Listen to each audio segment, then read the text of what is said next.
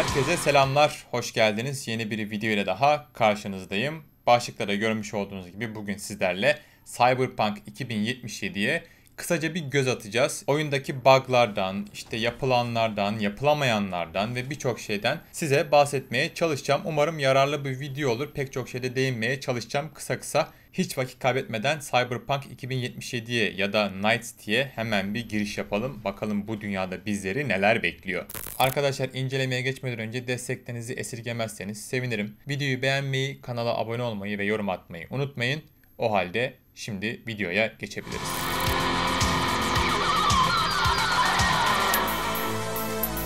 Cyberpunk 2077 sizi Amerika'nın batı yakasındaki suç, fırsat ve kötü yanınızın arzuladığı her şeyi elde edebileceğiniz yere yani Night City'ye çağırıyor. Oyunun orijinali aslında Mike Pondsmith tarafından yapılan bir RPG, RPG masa oyunu ve Cyberpunk 2077 bu serinin en gelişmişi. Yıllardır bu oyunu bekliyorduk ve sonunda geldi öyle söyleyeyim sizlere. Oyun her ne kadar 2077 yılında geçse de içerisi halen aynı. Yani sağlık ve teknolojik gelişmeler büyük şirketlerin baskısı ve kontrolü altında ki bunu zaten oyuna ilk girdiğiniz andan itibaren hissediyorsunuz. Bu da oyun ortamını kasvetli ve karanlık yapıyor. Oyundaki ana karakterimiz V adında bir paralı asker ve hikaye boyunca onu kontrol ediyoruz.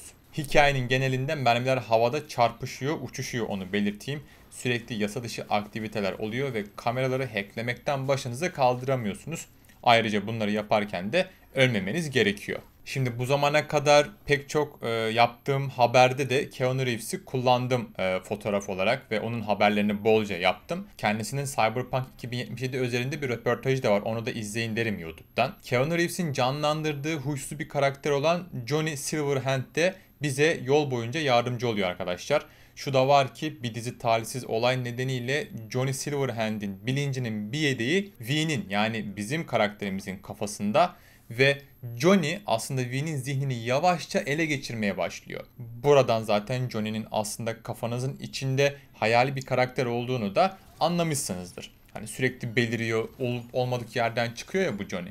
İşte bunun nedeni tamamen hayali bir karakter olması. Johnny'nin V üzerinde etkisi ve V'nin de Johnny'nin üzerindeki eşit etkisi RPG karar verme sürecinin kalbi. Yani RPG, RPG artık nasıl telaffuz ediyorsunuz? Yani role playing game aslında bunun açılımı. Johnny iğrenç, kaba, kadın düşmanı bir karakter. Aslında bunu değiştirebilirsiniz sizin elinizde ancak sizi her yöne çeken arkadaşları ve şirketleri boş vermeniz gerekiyor. Takmayacaksınız yani. Kafanızdaki manyaha bastırmak için özel haplar almak ya da onu değiştirmeyi denemek ya da değiştirmek bir RPG oyununda isteyebileceğiniz türlerden biri. Ancak ızdırap verici seçim sonucunda ise yol her zaman açık. Neredeyse her karar ideallerinize veya en azından oynadığınız karakterin fikirlerine bağlı olarak bir sıçrama etkisi yaratıyor. Bu arada oyunda kapitalizmi de hissediyorsunuz. Kapitalizm tabii ki de kötü arkadaşlar bu arada.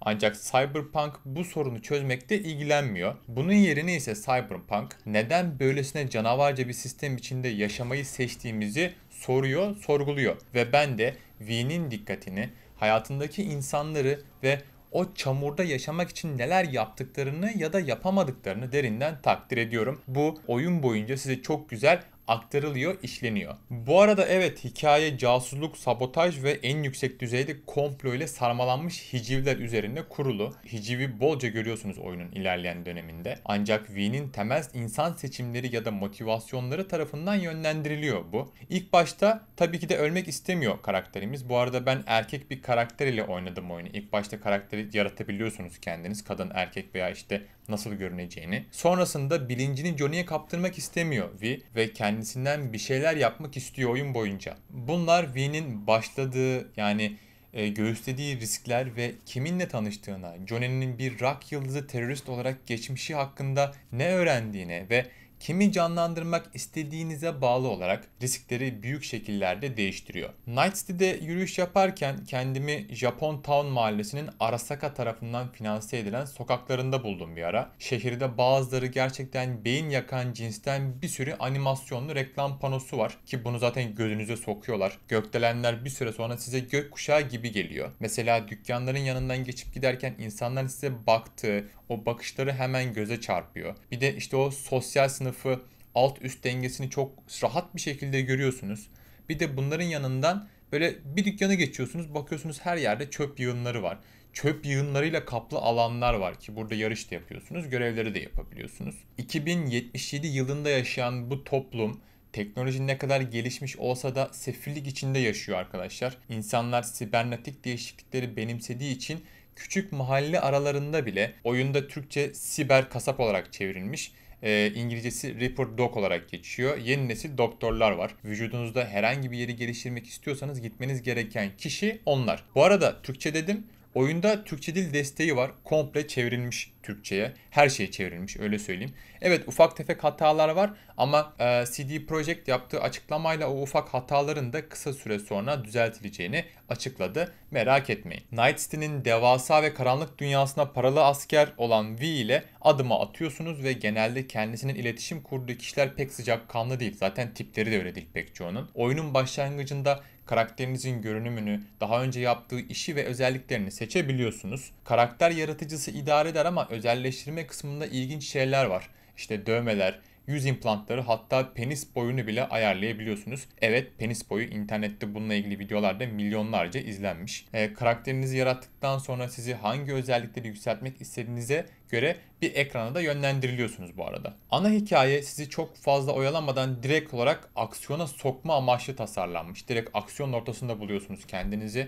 Night City'nin gösterişli sokaklarında silah sesleri insanlar için çok tanıdık bir şey haline gelmeye başlıyor kısa süre sonra. Oyunun asıl olayı yan görevlerde çünkü geliştirici CD Projekt Red bunu daha önce Witcher 3'te yapmıştı ve hepimiz bu oyuna bayılmıştık ki ben de hala Witcher 3 Wildland'i ara sıra oynarım. Cyberpunk 2077'nin yan görevleri ana görevlerin aslında yapamadığı şeyleri yapıyor ve eksik parçaları tamamlıyor. İnsanların daha fazla devreye girmesiyle beraber hikayedeki eksik parçalar zihninizde birleşiyor. Oyunu tam anlamıyla denemek istiyorsanız kesinlikle yan görevleri yapın derim. Evet oyunu oynadığınız süre artacak. Belki 50 saat 50 saatte geçeceksiniz. Ancak buna değer. Karakterimiz V'yi geliştirmenin birçok yolu var. İsterseniz hack özelliğini yükseltip kameraları ve savunma sistemlerini daha hızlı hackleyebilirsiniz. Hack özelliği sayesinde sabote edeceğiniz nesne sayısı artacağı için silahsız kalsanız bile düşmanlarınıza bir şekilde zarar verebilirsiniz. Bunların içinde düşmanları hareketsiz bırakmaktan belindeki el bombasını patlatmaya kadar özellikleriniz mevcut hale geliyor. Kazandığınız puanları istediğiniz şeye göre harcayıp bu özellikleri açabilirsiniz. Özellik dedik, e, beceri ağacı da oldukça büyük. İçlerinde radikal yeniliğe sahip özellikleri olmayanlar da var. İşte kritik vuruş özelliği ya da daha hızlı şarjör değiştirme gibi özellikleri daha önce pek çok oyunda zaten gördük. Ha bu arada bunlar olmadığı anlamına gelmiyor. Oyunda bunlar var. Burada bu tarz özelliklere de sahipsiniz. Tabi bunların yanında dediğim gibi farklı özellikleri de var. Cyberpunk'a özel özellikler de var. Yakın dövüş, gizlilik, çatışma özelliklerini geliştirip eşsiz özelliklere de sahip olabilirsiniz. Fakat şöyle bir durum var. Beceri ağacı büyük olmasına rağmen fark edilebilen özel geliştirme sayısı az. Aslında aksiyon burada pek çok şeyi bir arada tutuyor. Oyunu size şöyle tarif edebilirim. Call of Duty'nin standart hale getirdiği hızlı silah oyunlarının yanı sıra Deus Ex ile gizlilik ve hackleme sistemlerine sahip bir FPS türü.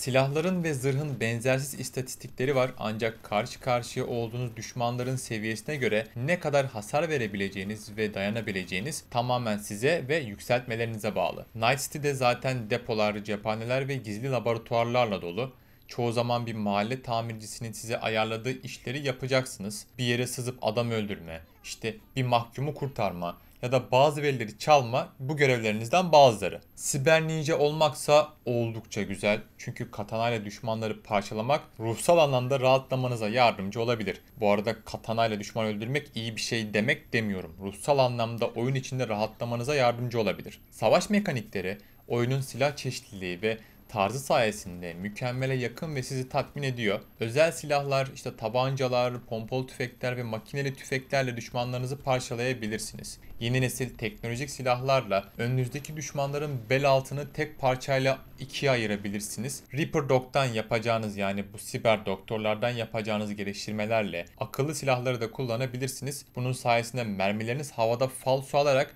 düşmanın kafasına isabet edebiliyor. Biraz Wanted filmini andırdı bana ama güzel düşünülmüş. Yakın dövüşe gelecek olursak muştanızla harikalar yaratabilir ya da termal katana ile düşmanınızı ikiye ayırabilirsiniz. Kendinizi uzuvları kesen bıçaklarla işte mantis pençesiyle ya da eski bir sopayla donatabilirsiniz. Fiziksel becerinizi arttıran diğer modifikasyonlarla da donatabilirsiniz. Yani tamamen size kalmış bu. Düşmanlarınız bazen kolayca alt edilemediği için mermileriniz hızlıca bitebilir. Bu yüzden yakın dövüş becerilerinizi arttırmayı unutmayın. Şu da var ki düşman yapay zekası hayal kırıklığı da yaratabilir. Çünkü yapacakları şeyler ezberli. Yani önceden az çok tahmin edebiliyorsunuz ne yapacağını. Silah sesleri ise harika. Her silah abartılı görünecek şekilde işlenmiş. Ateşleme ya da boştayken elde tutma ve yeniden doldurma animasyonları süslü ve güzel. CD Projekt Red mermilerin ne yaptığını size göstermek için burada epey çalışmış. Oyunda Assassin's Creed tarzı içeri sızma veya suikast çok yok ama yine de bu veya Deus Ex tarzını arayanlar aslında daha sessiz oyuncular için her zaman akıllıca gizlenmiş bir kanalizasyon ızgarası veya keşfedilecek balkon kapısına gidebilir. Şu da var ki bazen bunları bile yapmıyorsunuz çünkü bodozlama aksiyonun içine dalıyorsunuz. Oyunda en az 3 son olduğunu duydum. Kiminle arkadaşlık veya romantizm yaşadığınıza bağlı olarak kesinlikle daha fazlası da vardır. Tamamen isteğe bağlı olsa da her yan karakterin hikayesini sonuna kadar görmek büyük hikayenin nasıl gideceğini veya sonlanacağını temelden değiştirebilir. Araba sürüşüne de biraz değinmek istiyorum. Hani çok iyi değil ama ilk çıkan videolara göre daha iyi. E, bence araba sürüşü GTA 5 ve Watch Dogs'tan da daha iyi arkadaşlar. GTA 4'teki araba sürüş mekaniğini hatırlatıyor diyebilirim. Cyberpunk 2077 harika oyun deneyimi ve süper grafikler içeriyor. Ancak oyunda fazlaca hata var ki siz de internette pek çok hatasını görmüşsünüzdür. Yani bug'ı görmüşsünüzdür. Görev esnasında doğru tuşa basmama rağmen asansörün tıkalı kaldığını, işte tekerlekli sandalyede giden birinin silah sesini duyunca ayaklandığını, kağıt oyunu oynarken krupiyer kızın masaya kağıt koymasına rağmen masada hiçbir şey olmadığını ve düşmanların ateş etmeden öylece size baktığını gördüm. Evet bunlar ve daha fazlası oyun içinde yer alıyor. Bunlar sadece benim gözüme takılanlardan birkaçı. Oyunda çok fazla detay olduğu için gözden kaçırılmış yerler veya şeyler olduğu açık ama zamanla bunun telafi edileceğini düşünüyorum. O halde sonuca bağlayacak olursak Cyberpunk 2077 bence her oyuncunun deneyimlemesi gereken bir tecrübeyi biz oyunculara yaşatıyor. Night City'nin güzel atmosferinde kirli işlerinizi halledebilir ve kalan zamanınızda da karakterinizi özelleştirip şehri birbirine katabilirsiniz. Bu arada Cyberpunk 2077 kesinlikle yılın oyun adayı olacaktır. 2021'de büyük ihtimal alacağını da düşünüyorum. Ancak CD Projekt Red'in bir an önce oyundaki hataları düzeltmesi gerekiyor. Son olarak ben bu oyunu PlayStation 5 üzerinde oynadım. Oyun optimizasyon anlamında konsollara gelecek yıl tam şekilde uyum sağlayacak. Konsolda oynayan arkadaşlar varsa bu bilgi de kulaklarına küpe olsun. Evet bu videonun da sonuna geldik arkadaşlar. Umarım videoyu beğenmişsinizdir. Cyberpunk 2077 hakkında size az çok bilgi verebilmişimdir. Videoyu beğendiyseniz kanala abone olmayı, videoyu beğenmeyi ve yorum atmayı unutmayın. Görüşmek üzere bay bay.